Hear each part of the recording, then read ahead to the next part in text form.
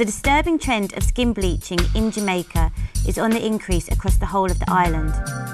Although its practice is mainly found in the poorer inner city garrison communities, where unemployment and a lack of basic literacy is rife, and where the ethnic majority of these communities are of African descent. The creams are illegal to buy over the counter, but their availability is now more accessible than ever. The Jamaican government is having a hard time stemming the flow of these products from entering the country. And now the practice of bleaching, which was once exclusive to women, has now spread to men and children. I wanted to find out more about the impact of this growing trend. My search led me to the garrison community of Torrington, where I talked to a family of bleachers and learnt more about why they do it. When did you first start to use bleaching creams? Around 10 years now. 10 years, and you've used it consistently for 10 years? Yeah. Why do you think it got popular when people first started to do it? People start bleach, them just like the style. It's just the style. Cause I came to do my college every time I go in my quarrel. Miss Morris, this way you need to stop doing it. It's going to damage on your body. It's going to eat out on the skin after a time.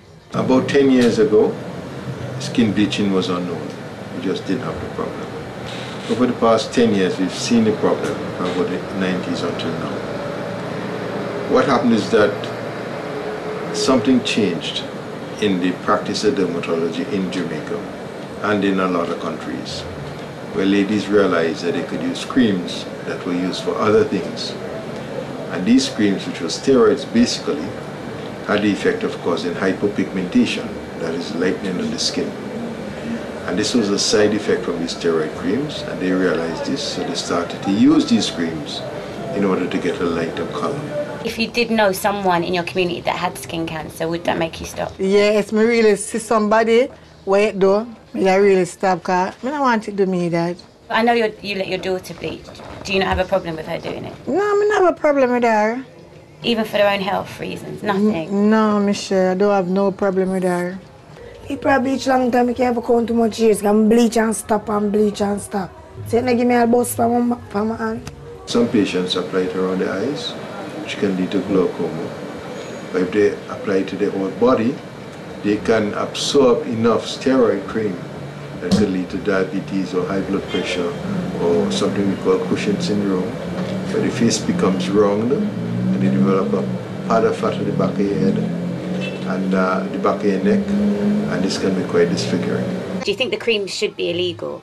Because they're illegal to buy here unless they're on prescription. It sell in the wholesale in my town. And them catch you now, now wholesale buy this, I'm going to lock you. When I go in there, when I ball it out. Girl, them, people them know what bleach them now wholesale. Because if them still gloves up, them know say Robbins will come by. Nothing to sell all that town like Robbins and ear and clothes. Even food not sell all like bleaching. I up every day say, oh, if you have 150, we are run go buy one of them. Them beauty bring pain you know, and style one, so have to bear it. We believe that by removing the melanin artificially, the skin, the cells in the skin become more susceptible to the damaging effects of ultraviolet light on them. And this can lead in years to come in an epidemic, to an epidemic of skin cancers. Hey, my whole body, my rub with my whole entire body. Every day? Every day. You know it can cause skin cancer. That is true, the doctor tell me that. Cause it, it, it, it, it, it, it, it give me something in my face right here, so. And you still didn't stop? Yeah, but them time I was using the gel. You have man prefer when you bleach, you have some that prefer. You have some that like when you bleach, no time at all. It's two, a two choice. But right now, the man them take it over from the woman them completely. Man them whiter than we. Man them bleach to attract, attract the girl them. That them can get more girl and them things. So how long have you been bleaching for? From about 13. And you do it every day?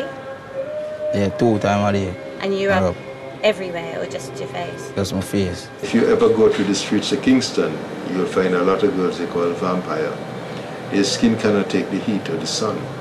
And so they only go out in the early mornings or at night because the skin itself is so sensitive to sunlight. And we have, I mean, these people actually face a very serious problem. Can you go out into the sun? Yeah, I'm going to the sun off. I walk up and down, sun have nothing to do.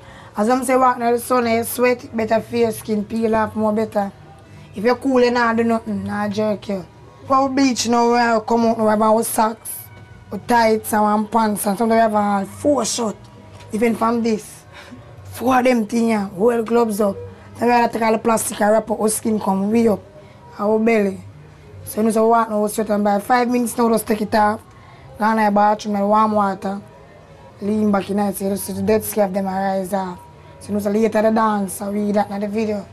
But can't talk to me again white. If you could have been born brown, would you have been, or would you have been born the way you are? If you had a choice. As we say if you have a color, but still a tone. I know people in you have a color, still tone. So it don't make no sense. So it's like a fashion thing. Right.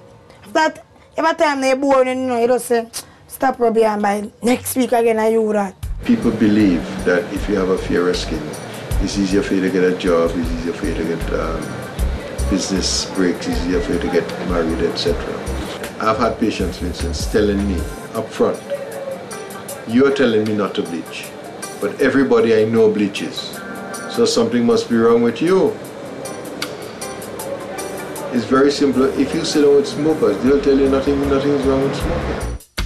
As I left Jamaica, I was saddened by what the Morris family had shown me and alarmed at how acceptable this dangerous practice has become.